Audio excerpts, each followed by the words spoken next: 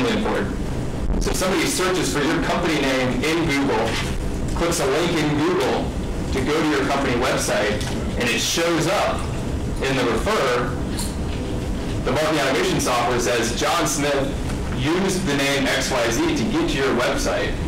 That shows that John Smith has conscious recognition of your company name. That's huge. And so there's a ton of different factors like this. Site search within a website. So prospect hits your website, and when they're on your actual site, on your internal site search, they search for words that show buying intent. Right? So if they go to your website and they type in pricing in the search box, that shows up with their profile. That's incredibly valuable that they're actively looking for pricing information.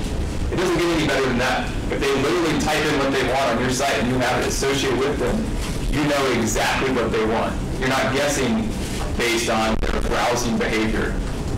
So capturing intent both from external sources, like refers, search terms, capturing intent on the actual website, pages visited, things downloaded, search terms within the website.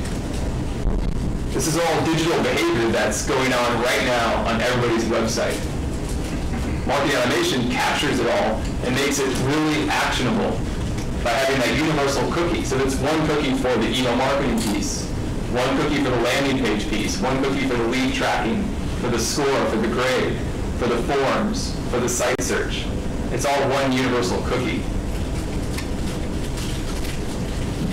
And then setting up the service level agreement between sales and marketing.